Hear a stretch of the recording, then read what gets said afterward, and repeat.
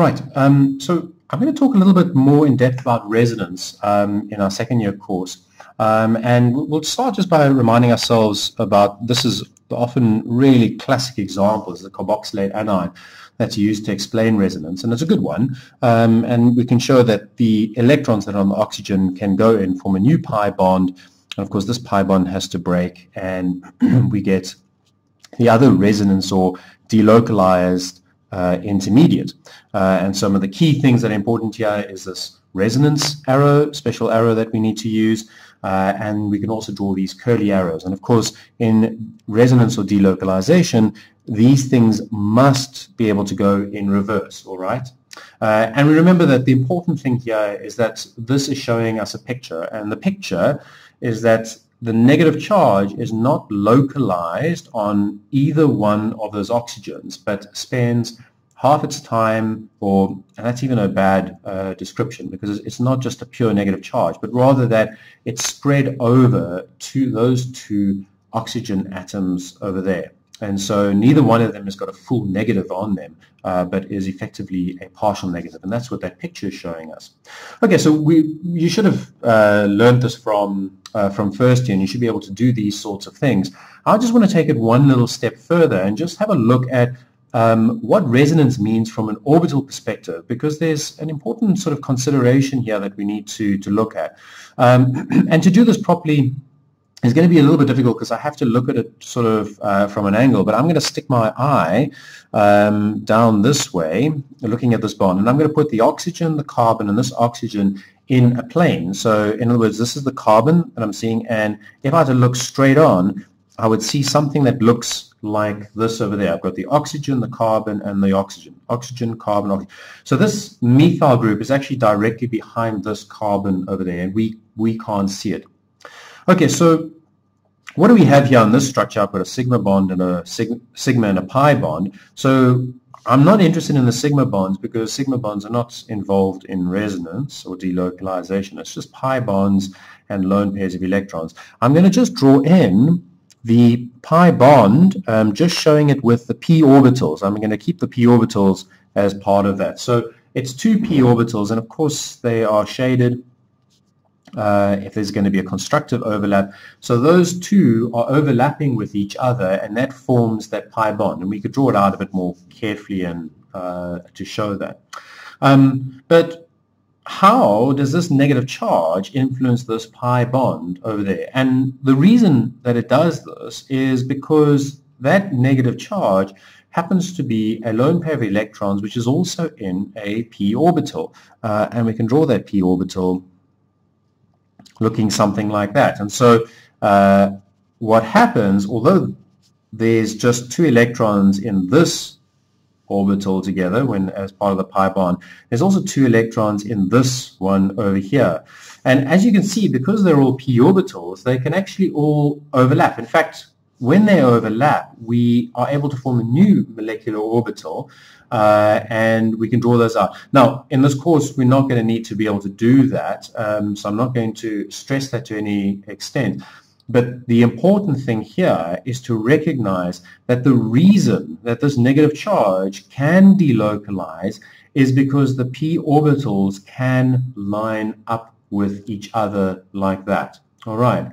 Um, so we can do a very similar example just to stress this, uh, uh, this importance by looking at an important um, an important intermediate, and that is an allyl cation. So I've just used some words here which you may not be familiar with. So this is what is known as an allylic system. I'll write that up.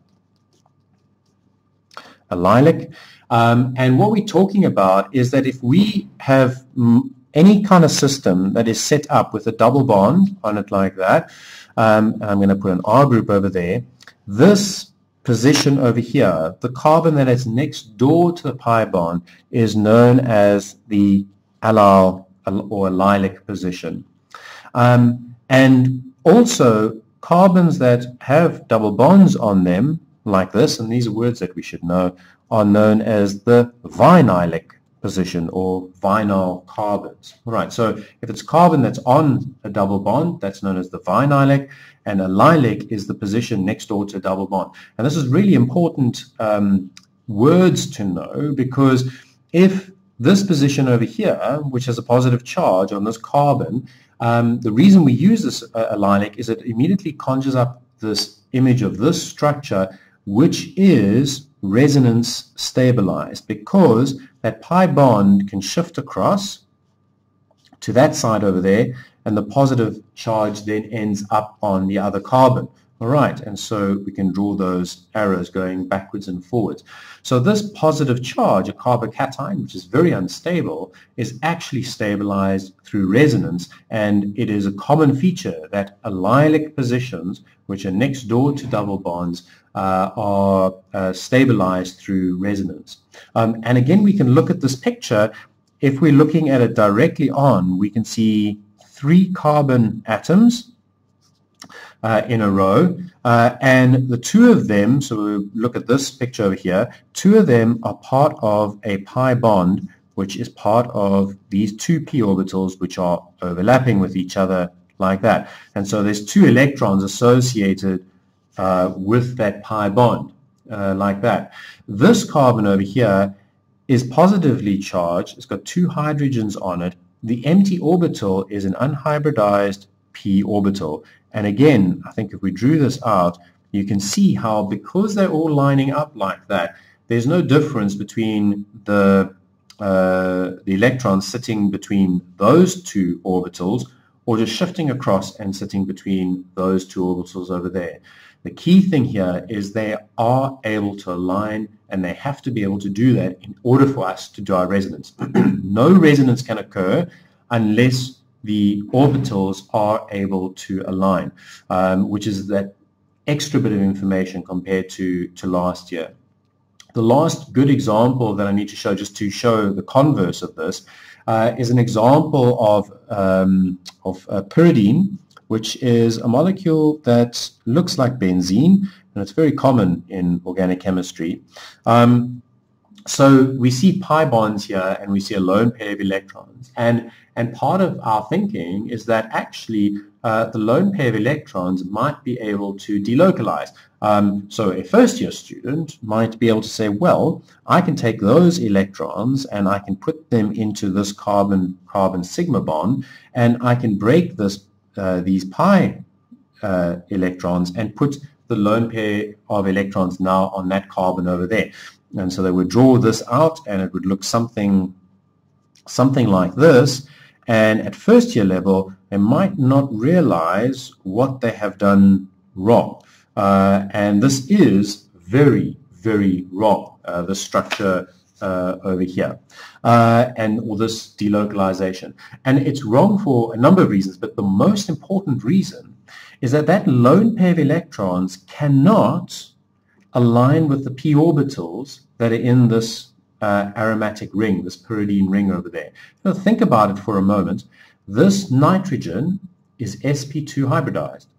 These lone pairs of electrons are sitting in an orbital which is lying in the plane of this ring over here. They're flat in the plane, all right? The pi bonds, on the other hand, are actually, as we're looking at the structure, above and below the plane of uh, the, the paper that we're looking at. So it's above and below this plane. That means that these lone pairs of electrons cannot align like this. They cannot get into alignment and it is totally impossible for them to uh, be involved in resonance. And at the second year level, this is the important feature that we need to take our resonance and delocalization to. Okay, so I hope that that makes some sense. Uh, in our lecture, we'll be able to look at examples of this and just start to cement those ideas.